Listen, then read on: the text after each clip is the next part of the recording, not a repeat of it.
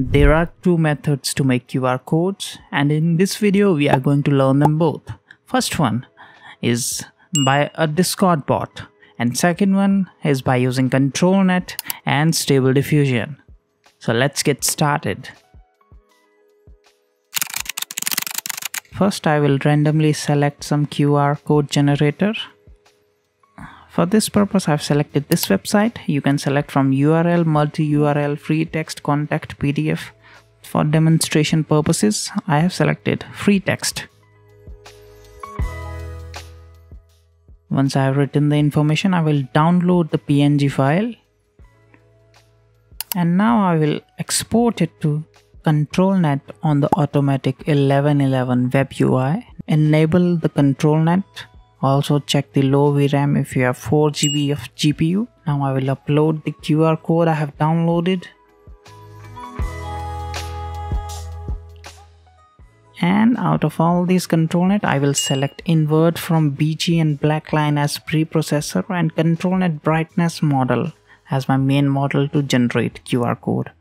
I will set the ControlNet weight to 0.55 as it has brought me good results and also the ending control steps would be 0.8 you can experiment with these steps and keep the settings what works the best for you. Let's see the results now.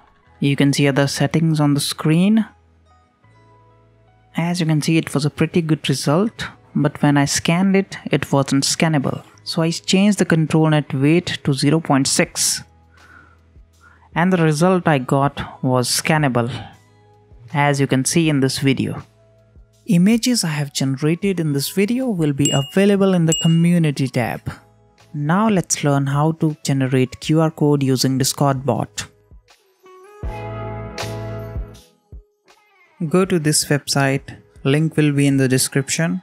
Once you press on the join beta now button, it will take you to their Discord server.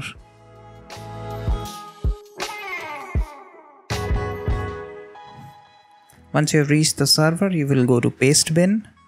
You will upload the QR code that we made in the beginning of this video.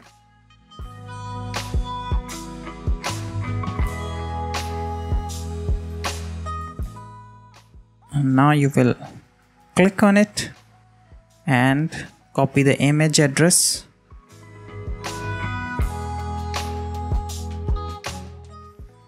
After this you will go to pixelbot1 channel, press forward slash generate.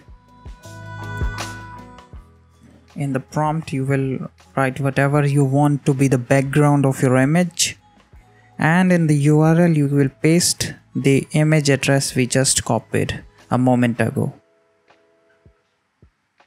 And then you will press enter and as you can see it produced a good image and this is how you can make artistic QR code using artificial intelligence. If you found this video helpful, please like and subscribe to the channel. I will keep bringing videos like this.